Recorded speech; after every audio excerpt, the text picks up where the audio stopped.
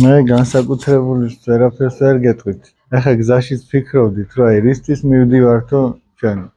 აქ ახლა აი მამა ბძანდება, სასულიერო პირები თქვენს გარშემო არიან და რაღაცა განსაკუთრებულს ვერაფერს ვერ გეტყვით. ჩემი ჩვენი ჩამოსვლის მიზეზი რა არის, რომ ჩემმა მეგობარმა მამა ბასილმა დამირეკა რომელმაც თხოვა რომ აქ მოსულიყავენ ერთ-ერთი თქვენი მასწავლებლის ინიციატივა ყოფილა როგორც მე გავიგე და. ჩვენი ჩამოსვლის მიზეზი არის მორჩილება რომ რადგან გთხოვეს ჩამოვედით. ეხა რა იქნება კაცმა არიც აი მაგიტო ჩამოვედით. ეხლა თქვენ უნდა მითხრათ რატო ჩამოვედით? აი მე ხო გითხარით რატო ჩამოვედით? ეხლა თქვენ რა სიტყვით აბა? რა შეიძლება იყოს ჩვენი შეხვედრის თავარი შინაარსი რატო შეიძლება რომ შევიკრიბოთ რისთვის? ხო ერით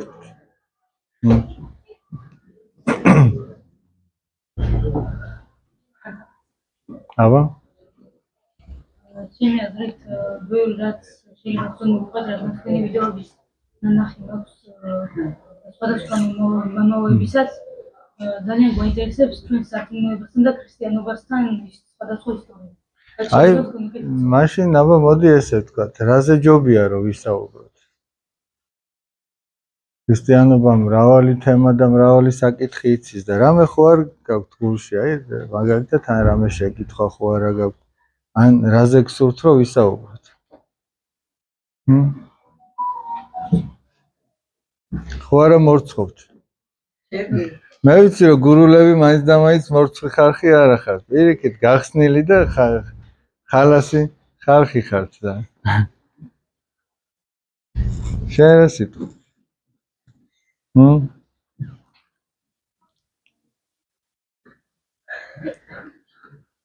არაფერს არ ამბობთ? ეგეთი მორიდებულები ხართ? დავიჭეროთ. კარგი მაშინ შენ ხო არ გინდოდა რამე გითხრა ეს ყველას გავდივართ ქრისტეს აღდგომას უკვე იონეს დაწერილ სახარებას და როგორ საუბრობთ ქრისტეს აღდგომასთან აღდგომასთან და აღდგომასთან დაკავშირებით თქვენ უნდა მესაუბროთ აბა რას გადიხართ? რა წერია აბა? ეხა ჩვენ გავიარეთ. უკვე როდესაც მოწაფები არიან. ასულების საფუძვლად და რომ გამიქია ქრისტეს დაიჭერეთ კიდე და როგორ გამოიცხადება და ეუბნება რომ გადააკეთ მარჯვენა მხარეს და მარჯვენა მხარეს. ბატე და აი სახელი რა ქვია? ალექსანდრე. აი ეგ თვითონ ეგ ისტორია ეგ მომენტი. ეგ ამბავი რაც უფალს და მოციქულებს უკავშირდება რომ უფალი ეუბნება რომ ეხლა წარმოიდგინეთ მთელი ღამე ხო ვერაფერი ვერ დაიჭირეს და არა და ყველაზე ხელსაყრელი შემთხვევა ღამით არის როდესაც შეიძლება თევზი უფრო მეტი დაიჭიროს 153 დიდი თევზი დაიჭირეს და პეტრე მოციქულმა ხო უთხრა რომ უფალო ჩვენო მთელი ღამე ვითევზავით და ვერ დავიჭირეთ. რო ეთქვა რომ აბა ეხლა რაღა უნდა დავიჭიროთ და არ ჩაეგდოთ დაიჭერდნენ 153 თევზს. ისინი უკვე ბადეებს კეცავდნენ ალაგებდნენ მიდიოდნენ სახში მაგრამ აი ნახე რა უთხრა. რადგან შენ ამბობო შენი სიტყვის გამო ჩავაგდებთ? ეგ იყო აქ ყველაზე მთავარი. და აი ალექსანდრე ეხა ჩვენ ეს ისტორია მოვყევით აი რაღაც შევისწავლეთ დავიმახსოვრეთ. მაგრამ მაგას ჩვენ ცხოვრებასთან რამე კავშირი აქვს? აი ჩვენ რაში შეიძლება გამოვიყენოთ? ეგ მე პირადად მგონია რომ არ ან მე არ ვიცი ჩემი პირადი მოსაზრება მოკავშირეო არასდროს არ უნდა დავნებდეთ ეს ზოობა იქნება და ასევე ხას უსვამს ღმერთი რომ თან ეს ის სეზონია როდესაც თევზი არ მოდის. არ არის თევზი. და რომ ოჯახები რო ერჩინათ მოციქულებს და თავი რო ერჩინათ მაინც თევზაოდნენ და თავისა ეს ღმერთის წყობის შემძლეობას უსვამს კიდევ ხას რომ არის ყოველ სეზონი თევზის და 153 დიდი თევზი დაიჭირეს, რაც არის სახარებაში მითითებული კიდევაც, რომ ბადეც არ გაიხსნა და იმდენი იყო რომ სიმრავლის გამო ვერ ამოადგენს. თან ახლა ნახე რას დააკვირდით. ახლა ეს ბადე ის კი არ არის. პეპლების საჭერი ბადე როა და უცბად რო ჩაყოფთ ამოიღებ. ის კარგ მოზდილ ბადეზეა ლაპარაკი და მოციქულები უკვე ამ ბადეებს ინახავენ, გრეცხავენ, ინახავენ და უფალმა რო უთხარო ჩააგდეთო, ანუ ხელახლა გარკვეული შრომა უნდა გაეწიათ. ისე კი არ იყო რომ ამოიღო ჯიბიდან და ჩაეგდო და უცბად ამო, ამო, არ ამოა და ნუ ეგრე კი არ. უფლის სიტყვას ენდნენ და დაიწყეს ამ ბადეების გაშლა და არ ვიცი თუ გინახიათ ტბაზე როგორ თევზაობენ, დინარეზე როგორ თევზაობენ, იმას გარკვეული შრომა უკავშირდება, ესე კი არ არის და უფალს რომ ნდობა გამოუცხადეს და ჩააგდეს. ნახეთ, აი ჩვენ ცხოვრებაში როგორ შეიძლება გამოვლინდეს. უფლის სიტყვა სად შეიძლება ჩვენ რო წავიკითხოთ. აი უფალმა თვითონ უთხრა მოციქულებს, მაგრამ ჩვენ უფალი ესე პირდაპირ ხო არ გვეუბნება, ჩვენ სად შეიძლება რო წავიკითხოთ სახარებაში. აი ზოგჯერ ხდება ხოლმე და არა იშვიათად რომ ადამიანი რაღაცას ფიქრობს, რომ ასე თუ ისე გააკეთოს. მაგრამ უფლის სიტყვა სხვაგვარად ეუბნება, ეგრე არ უნდა გააკეთო. ადამიანი ფიქრობს, რომ თუ ეხლა сахарებას დაუჯერა, მაშინ შეიძლება გარკვეული ზარალი განიცადოს, გესმით, ფიზიკურად შეიძლება, მაგრამ თუ ადამიანმა сахарებას დაუჯერა, ღვთის სიტყვას დაუჯერა, სინამდვილეში უფრო კარგად იქნება ვიდრე მაშინ რომ არ დაეჯერებინა. პეტრე მოციქული და სხვა მოციქულები როდის უფრო კარგად იყვნენ, რომ დაუჯერეს თუ რო არ დაუჯერეს.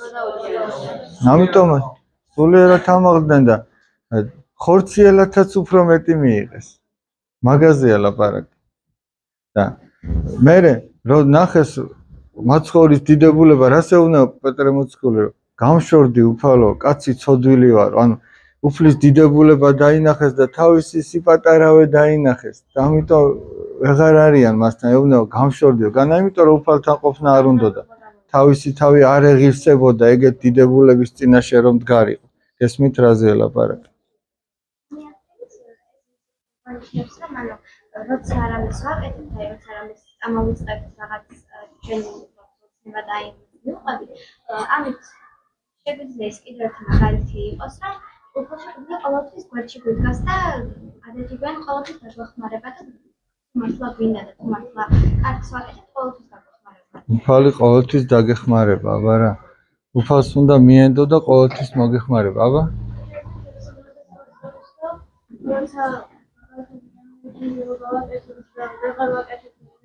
მაშინ გახმარება. ხალი და არ მივატოვებ შედა უთან მაშინ გახმარება.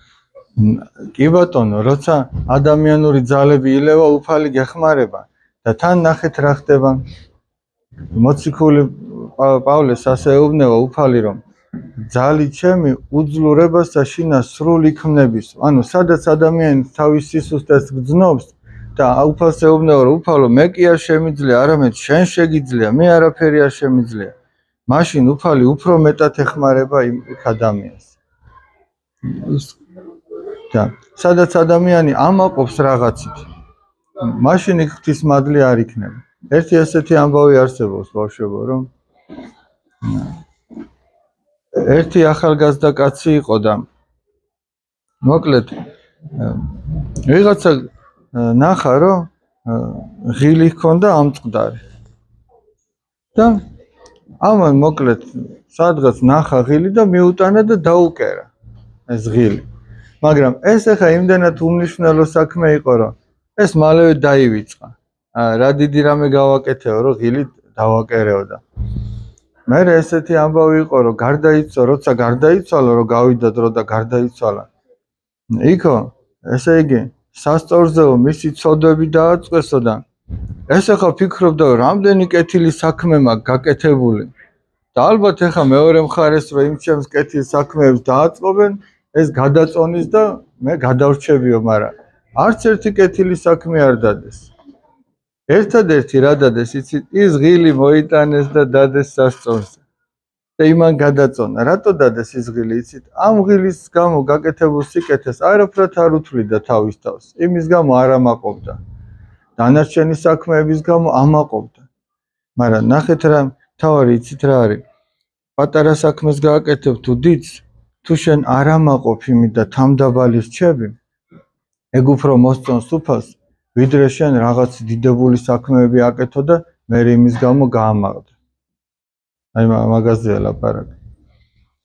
და იმ დიდებულ საქმეებსაც სინამდვილეში ვინ აკეთებს? ადამიანი აკეთებს თუ ღმერთი? მე მე აი ხაი მაგალითად აი თქვენ ნახატებს რო უყურებ. ეს ნახატები თვითონ ფუნჯმა დახატა თუ ადამიანმა დახატა? არ და ფუნჯმა ხო დახატა? მაგრამ ფუნჯი ადამიანის გარეშე დახატავდა? აი მაგალითად მე ახლა ეს ჩემ საყვარელ მოწაფეს ფანქარი ვეთხოვე თქვენთვის საჩვენებლად. ავა შეხედეთ ფანქარი ხო ხატავს? მაგრამ თავისით ხო ვერ ხატავს თავისით ვერ ხატავს. ეს ფანქარი რო დავდოთ ვერაფერსაც ვერ დახატავს ხო მართალია?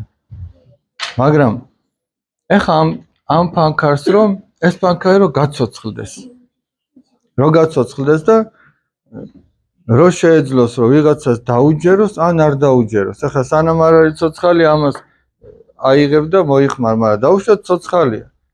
თვითონ ხო უნდა გადაწყვიტოს შენს ხელს დაემორჩილოს თუ არ დაემორჩილოს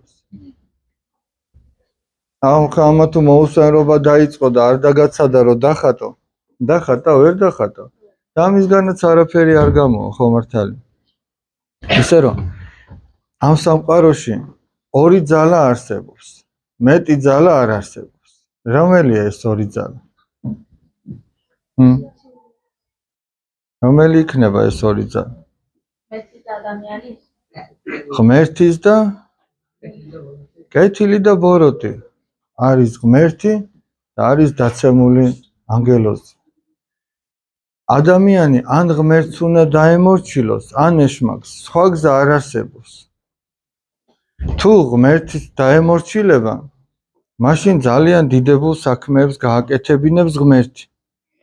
ოღონდ ამ ფანქარს ეწოდინება, აი ფანქარი ხო ადამიანს დაემორჩილა, ხა თუ რომელიმე აი მხატვარს დაემორჩილება მხატვრის ხელს. ეს ხო ძალიან კარგ რაღაცებს დახატავს. თუ რომელიმე ისეთ ადამიანს დაემორჩილება ვინც მარტო ცუდი სიტყვების და ცუდი ნახატების შესრულება იცის მაშინ რას დახატავს? რასაც ის დაახატინებს ხო მართალ ჩვენ წესე ვართ აი ამ ფარქარს გავართ რომ თუ ღვთის ხელს დაემორჩილება ადამიანი დახვება რა ღვთის ნებას მაშინ ღმერთი მას გააკეთებინებს რაღაც დიდებულ საქმეებს ჯერ მცირე რაღაცას გააკეთებინებს. მე ახლა ფანქრითაც რო ხატავ, ჯერ ხო პატარა წერტის მაინც დასო, რო გაიგო ხატავს თუ არ ხატავს. კალამს ხო აკეთებ ეგრე. აი ცალკე ფურცელი ხო გაქროვა, გაუსარო, წერს თუ არ წერს, პირდაპირ ხო არ იწერ, იწყებ წერას. ადა ღმერთიც ესე. ჯერ ადამიანს პატარა საქმეში შეამოწმებს. თუ პატარა საქმეში სანდო აღმოჩნდა, მაშინ უკვე დიდსაც დაავალებს. თუ იმ დიდ საქმეში ცანდო აღმოჩნდა, მე კიდევ უფრო დიდს დაავალებს და ასე შემდეგ. რა არის აი ამ ფანქარში თავარ? გული. გულია თავარ. გარეგნულად ეს როგორ გამოიყურება, ეს უკვე მეორე ხარისხოვანია, ხო მართალი? ამ ფანქარს თუ გული არ აქვს, გარეგნულად როგორც არ უნდა წინავდეს, ეს ვერაფერს ვერ დახატავს, ხო მართალი? ადამიანში თავარი გულია. ადამიანში ის კი არა, რომ ვინ როგორ გამოიყურება, ვის რა აცვია, ვინ მაღალია, ვინ დაბალია, ვინ ასეთია, ისეთია. მაგას არ აქვს არავითარი მნიშვნელობა. ეგ მეორე ხარისხოვანია უბრალოდ. თორე ღმერთმა იცის, ვის როგორი სხეული უნდა ქონდეს. და ეგეც წინასწარ განსაზღვრულია ღვთისგან, შემთხვევით არც ეგ არ არის. და თავარი არის ამ ფანქარში გული. ადამიანსაც თავარი აქვს გული. შეიძლება ზოგჯერ ადამიანი ცუდი გეგონოს, მაგრამ იმის გულამდე თუ ჩახვედე, მაშინ აღმოაჩენი სინამდვილეში როგორია. ახლა მე თქვენ გეკითხებით, როგორ უნდა გაიგოს ადამიანმა მეორე ადამიანს როგორი გული აქვს? როგორ უნდა გაიგოს? საქციელებიდან კიდე საიდან? დაუმეგობრდეს. სანამ დაუმეგობრდება, აი მაგალითად ჩვენ ორ ადამიანს უსმენთ. საუბარი უფალი იცით რას ამბობს? ეხლა წარმოიდგინეთ. ამ ეს ბოთლი რომ გადმოაყირავთ, რა წამოვა? და რა იცით რომ წყალი იქნება არაყია?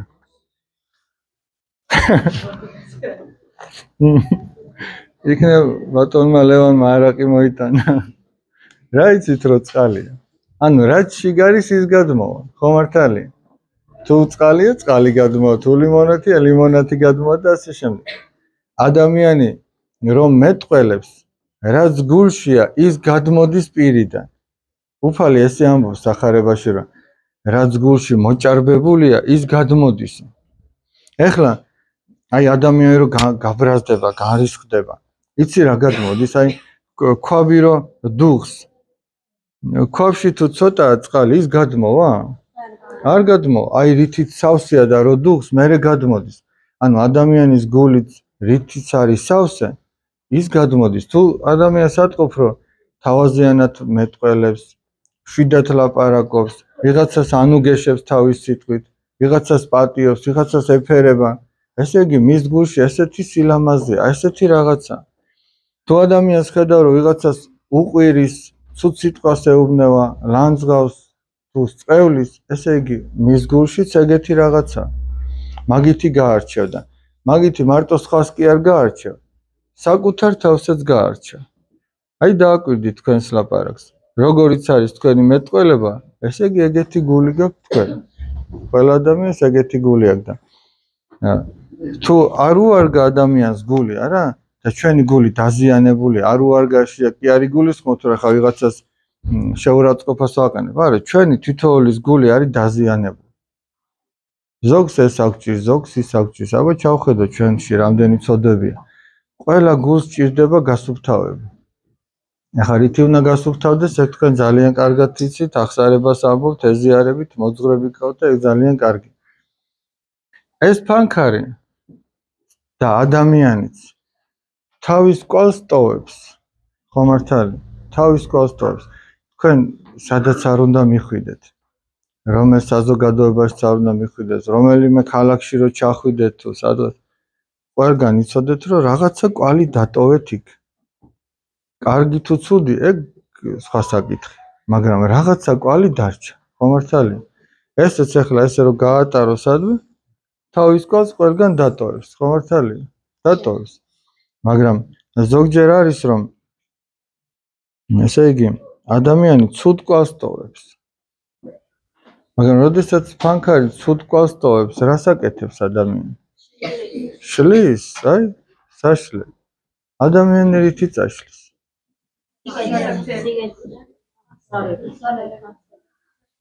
ახსარებამდე?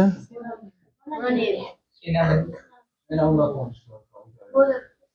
აი მაგალითად კი ბატონო ეგ რას თქვენ თქვით აბსოლუტურად მართალია შენ რა ქვია ერეკლე დაუშვათ მე ერეკლეს ვაწყენინე მე და ერეკლე დაუშვათ თანაკლასელები ვართ მე ერეკლეს ვაწყენინე. ერეკლე ნაწყენი დარჩა წავიდა სახში მე წავედი ახსარებაზე მამაოს უთხარი მამაო ესე და ესე ვაწყენინე. ეგ სწორი იქნება? არ. თუ კი რატო კი? თუ არა რატო არა?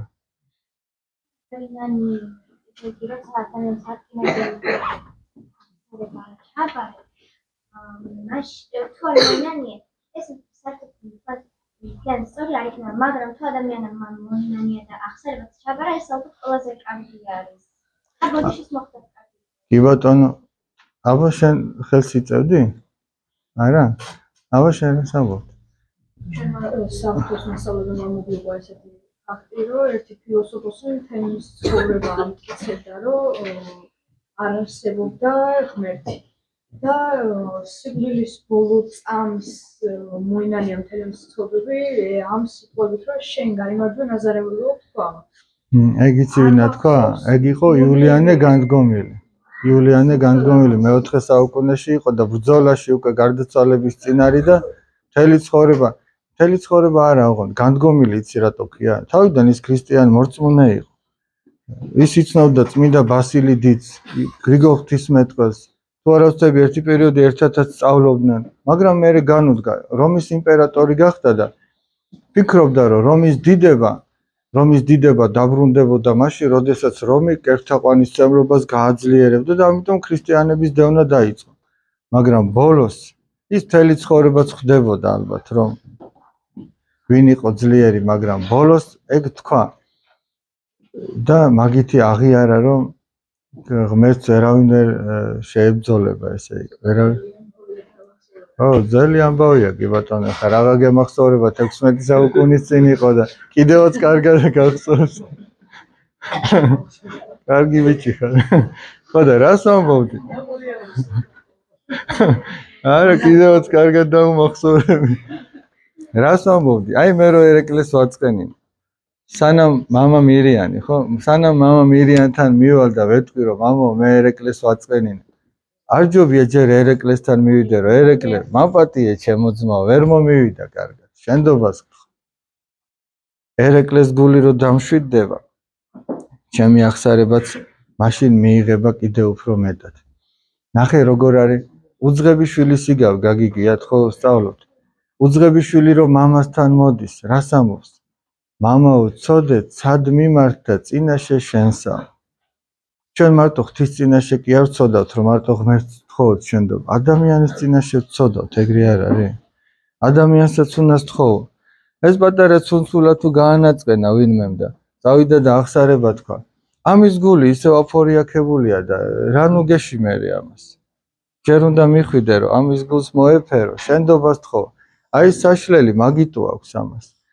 ამით შეგიძლია გამოასწორო არასწორად გასმული ხაზები.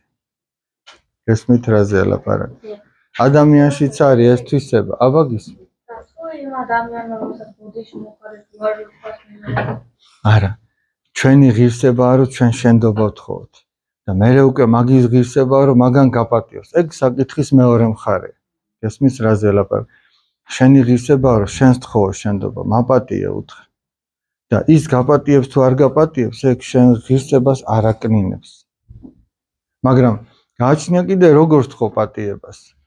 თუ იტყვი რომ მე მართალი ვიყავი, მაგრამ მაპატიო, უბრალოდ ის სიტყვა რო გამოიყენო რომ მაპატიე, ეგრე შეიძლება მართლაც ვერ გაპატიოს. მაგრამ შენ უნდა მიხვდე რაშიც ხარ დამნაშავე.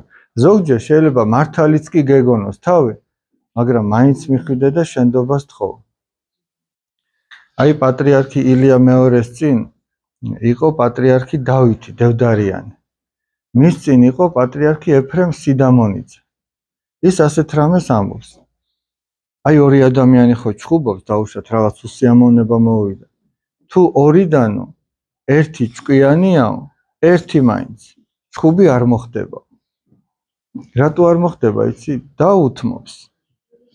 დაუთმობს და იმით ერთი ესეთი ამბავი არსებობს. მე ადრე ხშირად მომიყოლია ხოლმე ბავშვებთან.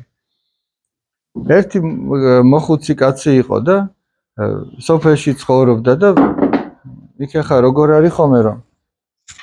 სარწყავი წყალი ჭირს ხშირად და არ არის საიმისოთ რომ ყველა მერდროულად მორწყოს ბაღი. ამიტომ რასაკეთებენ რიგს აკეთებენ რიგში დგანან. დღეს ერთი მორწყავს ხვალ მეორე ზეგმესამე და ასე შემდეგ ეხლა ამ კაცის ჯერი დადგა, ამ მოხუცი კაცის ჯერი და შუადღით ხო ხდება ხოლმე რომ სუფრას გაშლიან მინდორში და პურჩეჭამეთი და ჭიქი დაილოცებიან და ამ მოხუცმა კაცმა აიღო ჭიქა და თქვა რომ გმადლობ ღმერთო რომ ამ ხნის კაცი ვარო და ისე მოვედი აქამდე რომ თავიც კი არ გამტეხვია იქ შორიდან ერთი ახალგაზრდა ბიჭი უყურებს ეთყო იმას თავი ბევრჯერ ქონდა გატეხილი და ესე იგი ერთი ვნახოთო როგორ არ გაგიტყდება ახლა თავიო გაბრაზდა ამ კაცზე და წავიდა და სადაც ეს მოხუცი კაცი წავდა ბაღს გადაუგდო თავისი ბაღისკენ წყალი მივიდა ეს მოხუცი და ეუბნება რომ შვილო დღესო ჩემი ჯერი იყო მე უნდა მომერწყო და არა ვიმახალგაზრდა მოთხრა დღეს ჩემი ჯერია. კარგი შვილო დღეს შენ მორწყე და ხვალ ჩემსკენ გადმოუგდე წყალი. არა ხვალაც მე უნდა მორწყო შარზეა რომ რაღაცა გამოიწვიოს. კარგი შვილო, ხვალა ჩვენ მორწყე. და მე ზეგ ჩემსკენ გადმოუგდეო. ახლა რაღა ქნას, აი ესეც სიმდაბლეს, რითი დაუპირისპირდეს ეს ახალგაზრდა კაცი ვეღარა ხვდება, იმიტომ რომ ეშმაკი მაშინ აქეზებს ადამიანს, როცა საპირისპირო მხრიდანაც რაღაც შეკამათება მოდის. როცა ის თავს დაიმდაბლებს, ჭკვიანი, ეგ ჭკუები არ ახდება. ეუბნება რომ არა, ზეგაც მე უნდა მორწყო და სულ მე უნდა მორწყო და კარგი შილო კაცმა კიდევ ხო შეიძლება გაღიზიანდეს არა ეხა ეს პატარა ბიჭი რაღაცებს გელაპარაკ კარგი შვილო, სულ შენ მოწყეო და როცა აღარ დაგჭირდა, მაშინ გადმოუგდე ჩემსკენო და ვეღარ მოითმინა ამ ბიჭმა და აიღო და გადაუგდო იმ წუთშივე იმისკენ წყალი გაუშა და უთხრა, აი ეგეთი კაცი რო ხარო, თავ იმიტომაც არ გაგტეხვიო. რო დაუთმო, რო დაუთმო, გესმის? ქრისტიანობა ის კი არა, რომ ვისაც დიდი კუნთები აქვს, იმან აჯობოს. დიდსულოვანი ადამიანი ეგრე არ იქცევა. დიდსულოვანი და ღირსეული იქცევა ისე, რომ დაუთმოს სხვას. თავიზე სუსტ დაუთმოს. აი მაგალითად თქვენს კლასში აი სიტყვაზე რამდენი ხარ ჩვენს კლასში 14 15 აი 15 ბავშვია კლასში სიტყვაზე 15-დან თუ რომელიმე ერთი ბავშვი მაინც თავს დაჩაგრულად გძნობს ეგ იცი რისი ბრალია ის 14 არ ვარგა და იმიტომ ის 14 რო ვარგოდეს იტყოდა რომ როგორ ჩვენს კლასში, ჩვენს საძმოში, ჩვენს ოჯახში ვინმე რატო უნდა იყოს დაჩაგრული? ეს მიტრაზე ლაპარაკ. აი მაგალითად თუ უფრო გავამარტივოთ, თუ 15 ბავშვია და 15-დან 14 დაკურებულია, ნაჭამია, მაძღარია და ერთი მშიერია, ვისი ბრალი? იმ 14-ის. რო როდესაც ისინი იკვებებოდნენ, ეს არ გაიხსენეს. ეს მიჩრაზია ლაპარაკი. ეგ მარტო საჭმეზე კი არის, ყველაფერზეა. არა და როიცი რომ აი სამი მუშკეტერი წაგიკითხავთ. რა არის მაგათი დევიზი? ერთი ყველასათვის და ყველა ერთისათვის. და ქრისტეს ყველასთვის ჯვარს ეცა. ნახე იმან რო თქვა რომ ქრისტე აღდგომაზე ვილაპარაკოთ. ქრისტე ჩვენთვის ყველასთვის ჯვარს ეცა. და ჩვენ ყველანი ქრისტეს სიყვარულით ვითმენთ ყველა იმ განსასწრებს. ეხლა მოდი კლასზე ვთქვათ. ერთმა ბავშვმა რო იცის რომ 14 ჩემზე ფიქრობს. აი როგორი ძლიერება იქნება რა. აი რო იცის რომ მე ახლა სახში თუ არ დავადგავხდი, ვიცი რომ 14 ახლა სადღაც ზის კლასში და იმაზე ფიქრობენ, როგორ უშველოთ ამას, რითი დავეხმაროთ, რითი გავამხნევოთ. ამას დიდი სიხარული და ბედნიერება შეიძლება რამე იყოს, რომ გეიმედება 14 ბავშვი. 14 ერთგული ადამიანი რო ყავს. მაგრამ იმ კლასიდან თუ ვინმე თავს დაჩაგრულად გძნობს, მე ყოველ შემთხვევაში ჩემი აზრი ესეთია, რომ ალბათ იმ 14-იც რაღაცა პრობლემაა. სვანაირად არ იქნება. ეხლა ნახეთ, ერთი რაღაც მინდა რომ გაჩვენოთ. ეს ხო უკვე გაჩვენეთ. კიდე უნდა გაჩვენოთ რაღაც. ნახე როგორი მოწყენილი ჩანს. ხო მოწყენილია, მარტო როა. დაუშვათ, ეს არის ან სიხარული, ან განსაცდელი. აი ეს. ესეთი სიხარული თუ განსაცდელი ეწვია ამ კაცს. ერთი კაცი, აი ხა წარმოიდგინე რომ დაბადების დღე გაქვს და არავინ არ მოდის შენ გვერდით, აი ამ ხელა სიხარული გაქვს, ტორტი გიდოს და მარტო შენ ხარ. არის მანდრამე სიხარული? არა. ანუ ეს კაცი ამ სიხარულს ვერ უძლებს მარტო, ვიღაცა ჭირდება. ერთი კაცი თუ შემოემატა იმ სუფრას უკვე. ეგ ნიშნავს რომ სიხარული გაორმაგდა. ახლა თუ მესამე შემოემატა, კიდე უფრო გაბერდა და ასე შემდეგ. მაგალითად განსაცდელია ეხლა ეს არასასიამოვნო ამბავი არ ამის სამწუხარო. ეს ეხლა აქ ჩაეტევა ანუ ერთი კაცი ვერც განსაცდელს ვერ უძლებს. როგორ ამბობს? დარდის გაზიარებაო ნახევარი დარდიაო მაგრამ ეს თუ შეიამხანაგებდა მეორეს ეხლა ნახეთ რა შეა საქმე ორი თუ იქნება ეს უკვე გაღიმებულია. ა ხო გაღიმებულია. ეხლა რო ჩავასხა ერთ წაში, ჩაეტევა? გადმოიქცევა, მაგრამ ერთად რო არიან, მე მგონია რომ ჩაეტევა. აბა ვნახოთ. იმიტომ რომ მეგობრობას და დარდის გაზიარებას ძალიან დიდი ძალა აქვს, ესე იგი. აბა ვნახოთ.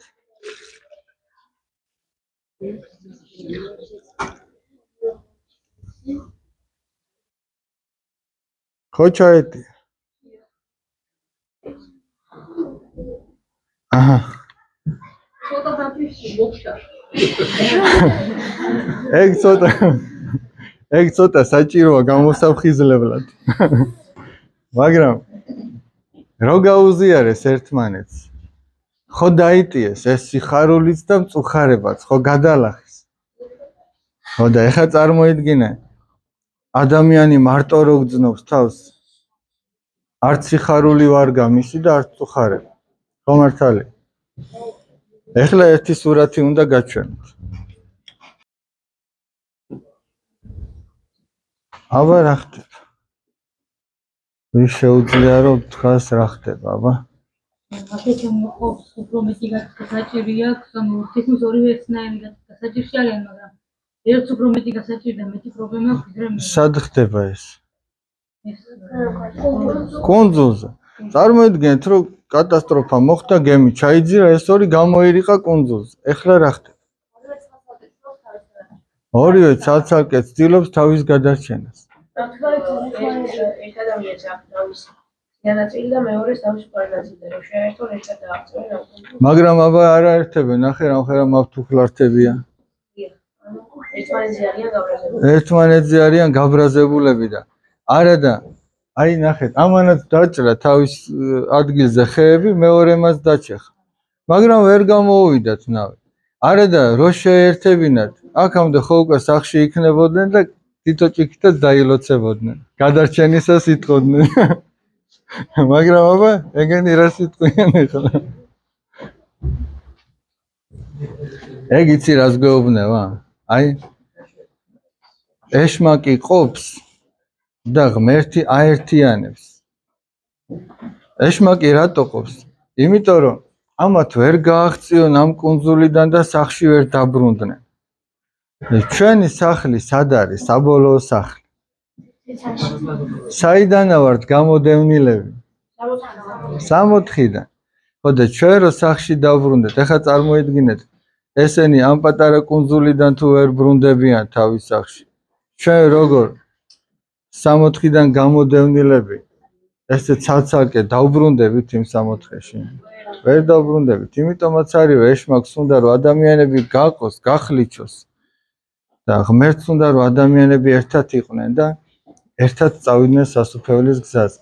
ერთი ასეთი ამბავი არსებობს ბავშვებო. ერთი უხელო კაცი იყო, ძალიან ღირსეული კაცი. გარდაიცვალა და იქო ხედავსო სასუფეველში სასუფეველი ნახავ და მე ჯოჯოხეთი ნახავ და ეს რა თქმა უნდა გადატანითი მნიშვნელობით ესე პირდაპირ გაგებით კი არა რაღაცა შინაარს ატარებს ეს მისი ხილვა რაც მან იხილა და ადამიანები იყვნენო რომ იდაყვებშიო ხელებს ვერ ხრიდნენ. მარტო ესე გაშეშებული ხელები ჰქონდათ. დარჩენი ამოძრავებდნენ. და ჯოჯოხეთში ყველა მშიერი იყო და სასופველში კიდევ ყველა დაპურებული იყო. და მე ახლა რა მაინტერესებს იცით? მოდი ჩვენ ჩვენთან ჩვენც მოდი. აი ახლა თქვენ ხელები დაიჭირეთ ესე რომ ხელები არ მოხაროთ. არ აი იდაყვებში არ მოხარ ასე დადეკით ეს ესე დადეკით აი შეგიძლია რომ ეს კონფეტი შეჭამო. აბა გამომართი. გახსენ. გახსენი აბა. აი იდაყვებში არ მოხარო და ეგრე შეჭამე აბა ამით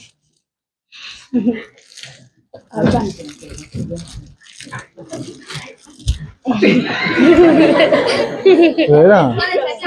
აბა ერთმანეთს საჭამეთ რა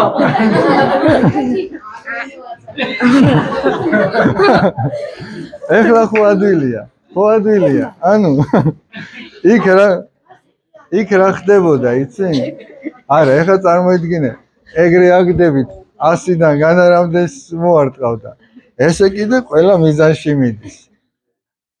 ანუ იქ რატო იყვნენ შივრები რომ ყველა ცდილობდა რომ თვითონ შეეჭამა? და სასופველში სხვაზე ზრუნავდნენ. აი ეგ იყო მთელი ამბავი. ეს მით რაზეა ლაპარაკი? ხო და ჩვენ მე ბოლოს რო დამთავრდება აქ არის იმდენი კონფეტი რო ყველა შეგხვდება. ოღონ ესე უნდა შეჭამოთ, ეხლა როგორც შეჭამეს ამ.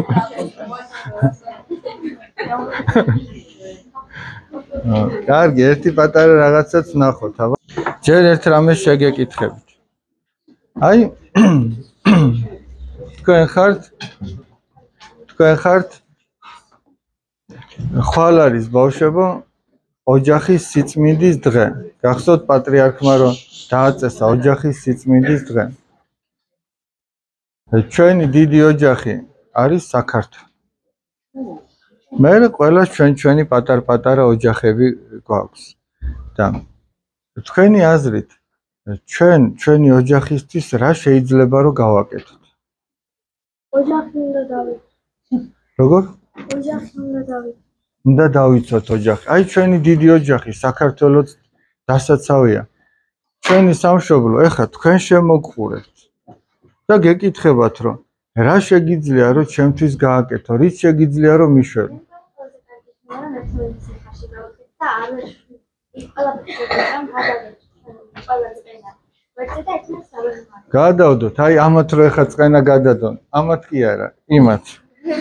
აი ეგენი შენურეთ. აი ამათ რო წენა გადადონ. და როგორც სახელი რა ქვია? მარია. მე როგორც მარიამა თქვა.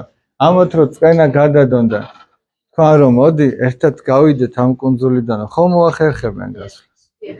აბა შენ რა სიტყვი, როგორ უშველო ჩვენ საქართველოს? რითი დავეხმაროთ? თაც მაგუხარ მაგუხარებს გამახსენდა რომ გონი გასული პრობლემა გვაქვს ქართველებთან. აი ჩვენ დაგარგვის ტერიტორიები როგორც მაგალითად აფხაზეთია.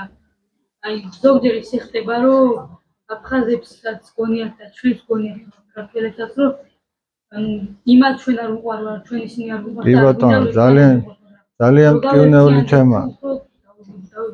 რა თქმა უნდა, აბა რა ერთობას და სიყვარულს ალტერნატივა არ აქვს. ყველასთან აფხაზები იქნებიან თუ ოსები იქნებიან. აბა? ჩემი აზრით ვიყვარდეს ერთმანეთს და ვილოცოთ ერთმანეთს. ვიყვარდეს და ვილოცოთ ერთმანეთს. აბა კიდე უკან იწევდა ერთი ვაშკაც ხელს. აბა? არა უშო, შენი სათქმელი შენათქვი.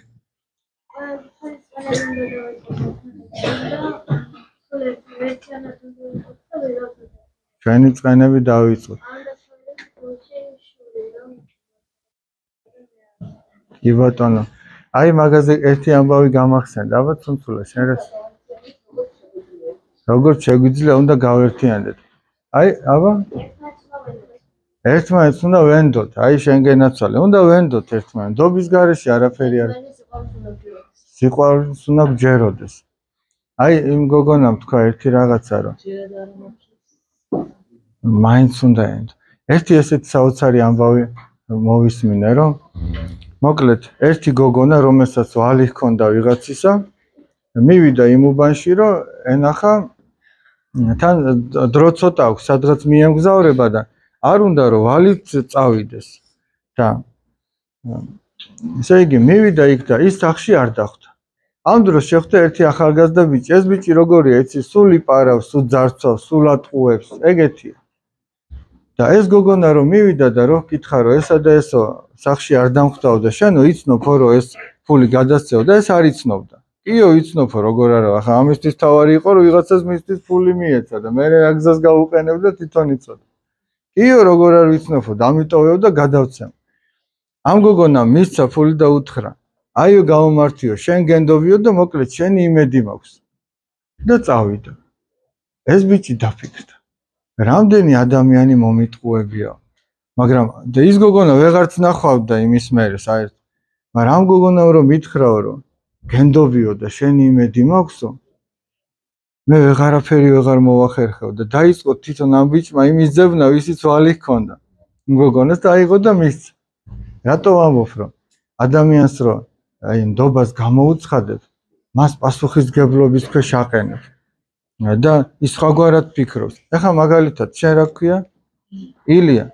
აი მაგალითად მე რო გითხრა რომ ილია, ხვალ დილით მოკლედ შენი თავი მჭირდება და აბა შენიცი ბიჭო, შენი იმედი მაქვს მეთქი, არ დამაღალატო. გენდობი მეთქი რო გითხრა. მე ვიცი რომ შენ შეძლებ. აი ესე რო გითხრა. მაშინ უფრო იგზნო პასუხისგებლობას თუ ესე რომ მეთქვა რომ შენი იმედი კი არა მაქვს შენ დილით ამ დგომი არ ახარ მაგრამ თუ მოახერხებ მაინც წამოდი მეთქვა როდის უფრო იგზნობდი პასუხისგებლობას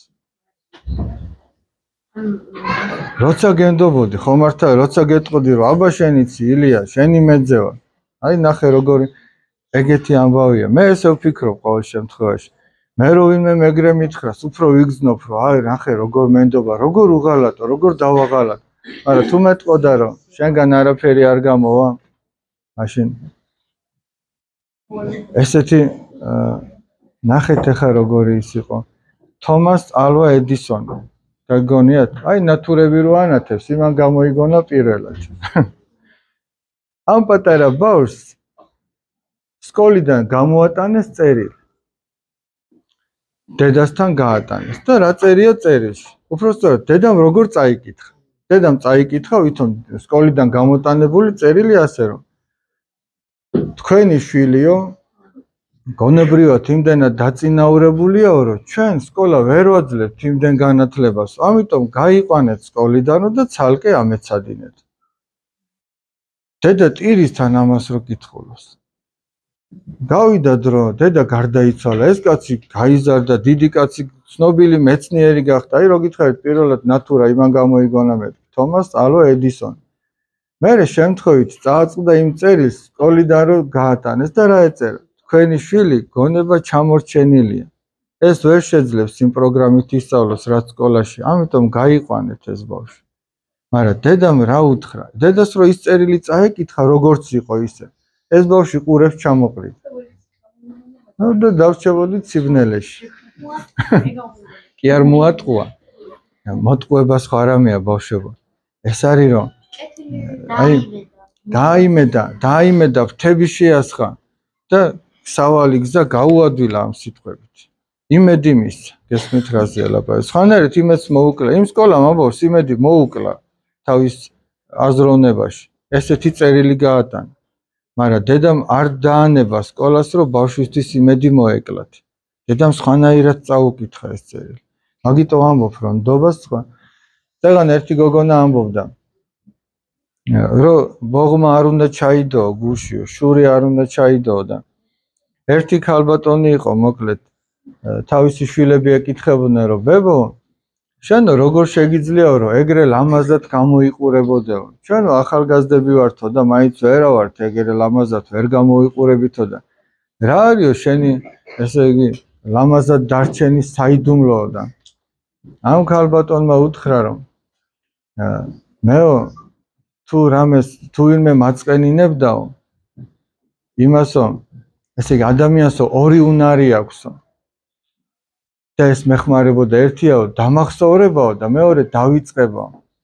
თუ ვინმე ბოროტებას მიკეთებდაო იმას ვივიწყებდიო. და ჩემს გულამდე არ უშვებდი რომ გული არ დაეზიანებდი.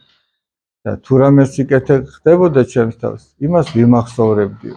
აი ეს ორი უნარია ერთი შეიძლება შეიძლება 1000 გვარი კოსმეტიკური საშუალებები გამოიყენოს ადამიანი მაგრამ მაინც ვერ იყოს ისეთი იმიტომ რომ ჯერ გულია მთავარი, რა იყო მთავარი? მთავარი გული იყო, ხო მართალი? გული რო კარგია, მე გარეგნულადაც შენივრად გამოიყურება ადამიანი. და თუ გული არ ვარგა. მაშინ მოუწევს სირბილი კოსმეტოლოგებთან. ბრავო ალექსანდრე. ეგრეთ წოდებული ბებო იმიწება წენას და იმახსოვრებდა კეთილს აუკეთებია შემოაკეთებს ადამიანების უმეტესობა ეს თეორიით პირიქით მე იმიტომაც დაედო ფასი კოსმეტოლოგიურ საშუალებებს მართალია ოდე ჩვენ ჩვენ უნდა ვეცადოთ რომ ჩვენ ვიყოთ ეგეთები. აი ჩვენ ხო გვინდა რომ აი ჩვენ დავიწყეთ საუბარი იმაზე რომ ჩვენ რითი უშველოთ ჩვენ სამშობლოს. რითი უნდა უშველო და ერთი ადამიანი უნდა გამოასწორო მარტო ერთი. ვინ არის? ვინ უნდა გამოასწორო? ჩვენი თავი. ჩვენი თავი უნდა გამოასწოროთ მეტი არა საიდანღაც კი არ უნდა დაიწყო. ეხა თქვენ ლანჩხუთში ხართ თელავიდან კი არ უნდა დაიწყოთ საქართველოს გამოსწორება ან ბათუმიდან თქვენ უნდა დაიწყოთ ლანჩხუთიდან. თქვენი ოჯახიდან, თქვენი თავიდან, თქვენი გულიდან უნდა დაიწყოთ გამოსწორება.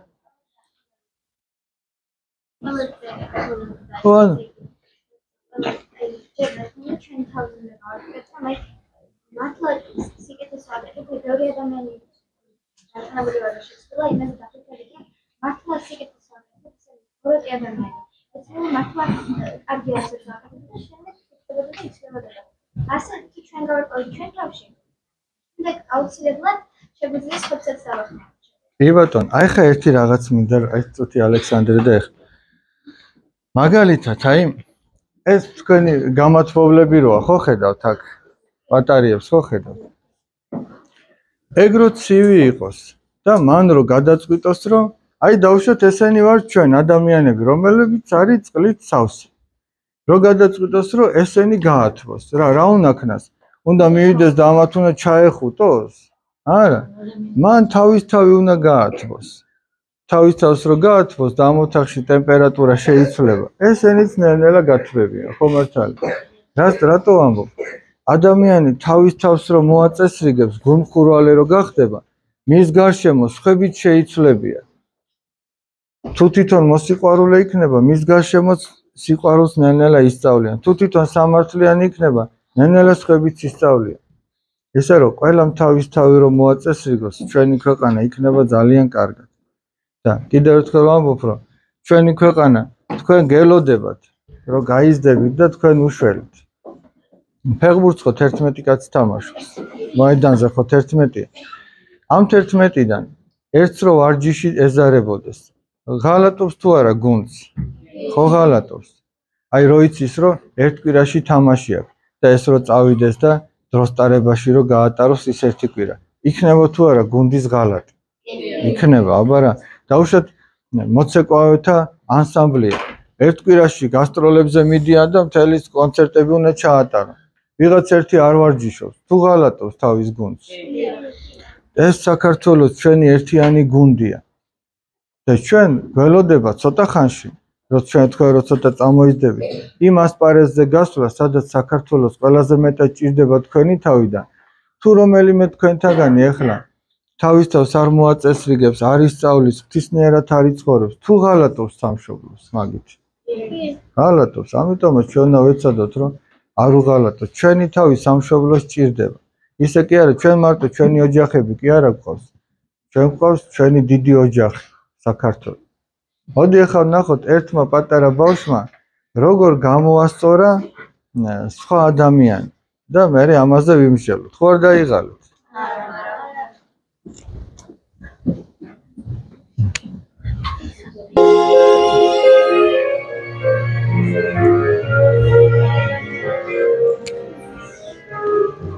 ჩინჯველა რომელიც ბალახში დაფუსკუსებს ვერ გრძნობს თხების მზერას რომლებიც ბალახს ძოვენ და თავზე დაახურებენ.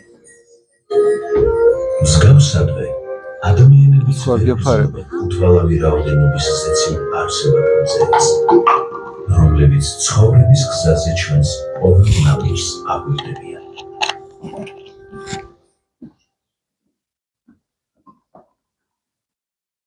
იყო ერთი კაცი, რომელიც მიჩვეული იყო ქურდობას.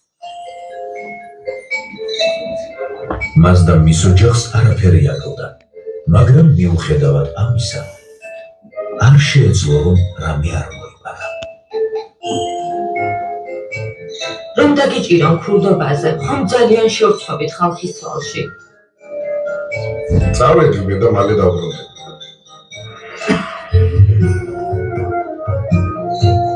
მამიკა, მამიკა, მე წამიყვანე. არა შვილო, შენთვის იქ არ შეიძლება წასვლა. წამიყვანე. წამიყვანე.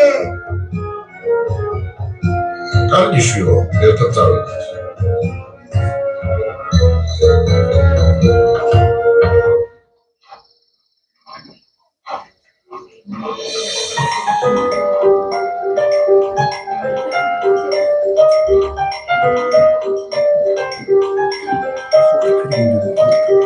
წავედით. ფანქრებული დაუგებს ბავშვს და შვილო არ დამელოდე ხორბალი უნდა გამოვარტო ჩვენს ფანქრების და გამოვიდა ჩვენ დავარეკეთ. არა. მამიკო,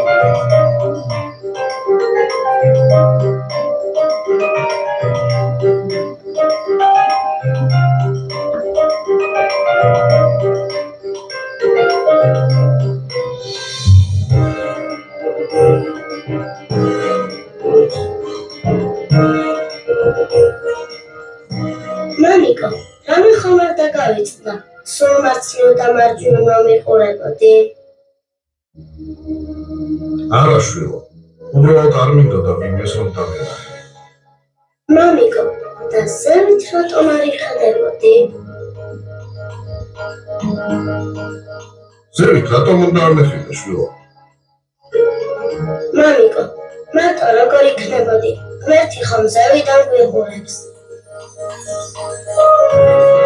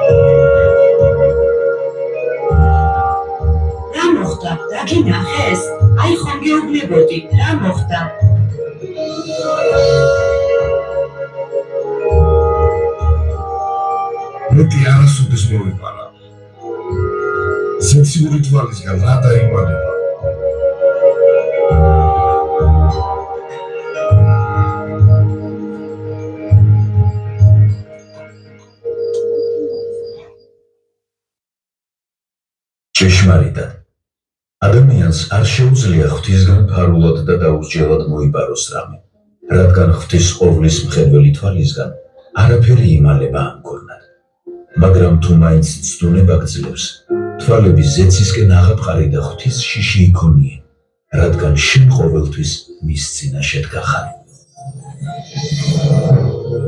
უბრძანე უფალო ცეცხლს დაწვას ჩვენი ხელები თუ კი საქურდავად გაიწევენ უბრძანე უფალო გველებს შემოეხვიონ ჩვენს ფეხებს თუ კი მოსაბარად გაემართებიან.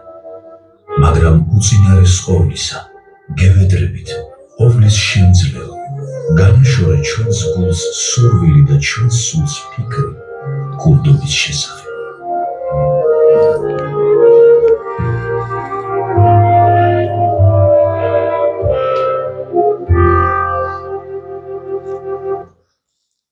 აბამ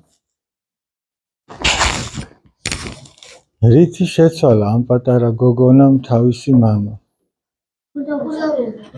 რომ თუ ადამიანი მოიყარავს ღმერთი ანუ თავში იმის გამო რომ ღმერთი არავის ან ღმერთი ისეთ ამის შეიძლება აპატიებს, მაგრამ ხურდობას არ აპატიებს, რადგან სხვის საკუთრებას იპარავდა. და ამ გოგონამ რაზე დააფიქრა მამა? ახსენა რომ ყოველთვის მეტი წამს მეც და რა თქმა უნდა რომ ახსენა ესე იგი ენერგია და ახსენა რომ ფიქრდები რომ აი მე როგორ შეიძლება რაც ფიქრდება ადამიანი რომ ახლა აქცენტები ფენოմენა და რაც მისულებს მაშინ იცნება და აი ამ გოგონას სტრესი და ამ გოგონ კი ბატონო ამ გოგონამ რა? ეს ამ ნომერა როცა ფიქრობს რომ როცა მარტინ მას ხდება და რა მეგობრა შეიძლება უფალი ზემოდან მიყურებს და ეს ცუდა შეიძლება უფალი ზემოდან უყურებს და ამ გოგონამ რამდენიმე სიტყვა და მამის სინდისი გააღვიძა. რა ამ განა განათა სინდისი გაუღვიძა. ამის მამის სინდის კარგა ღრმათ ეძინა. მაგრამ შვილმა რატო ამბობ ეხლა რომ ჩვენ ხო იმაზე ვსაუბრობთ რომ საქართველოს უნდა უშველო და თქვენი ცხოვრებით შეგიძლიათ რომ სხვასაც დაანახოთ რომ ღმერთი არსებობს და ის ყოველთვის ვიყურებს ჩვენ აი მაგაზია ლაპარაკი ადამიანს თუ ავიწყდება რომ ღმერთი უყურებს მაშინ უფრო ცუდად იქცა ეხლა ნახეთ აი ოჯახში ეხლა როცა мама და დედა არ გიყურებენ და რაღაცის გაფუჭება გინდათ მაშინ უფრო ადვილია გააფუჭოთ რომ იცი რომ გიყურებენ როცა არ გიყურებენ ადვილი რატო აყენებენ ქალაქში ვიდეო კამერებს იმიტომ რომ ადამიანი ადამიანი ისე არ ფრთხილობს არ ღვევს წესებს მაგრამ რო იცის რომ კამერა უყურებს იქ არ დაარღვევს. გესმით რა მაგრამ ჩვენ რო ვიცოდეთ რომ ყველგან ღმერთი გვიყურებს ზოგან კამერები არ არის ხა მოთახში არ არის კამერები მაგრამ ღმერთის თვალი ახაც ხო არის რა ვალექსი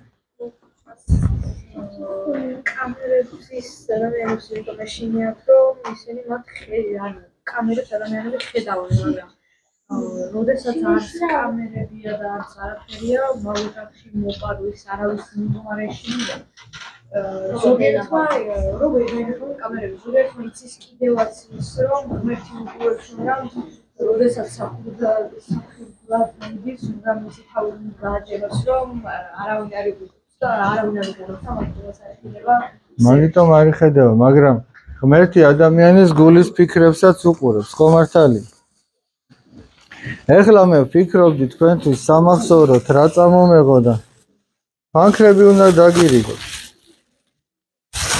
რო ფანქარზე რაც გითხარით კიდე უფრო კარგად დაგამახსოვრთ აი აბა როგორ გავაკეთოთ? მოდი თუ გინდა თუ თქვენთან ახმა იქნებით აი რო გავლენ ბავშვები დაური. ერთ სურათს გადავიღებ თქვენთან ერთად. აი აქვე დავჯდები და იქიდან გადაიღებ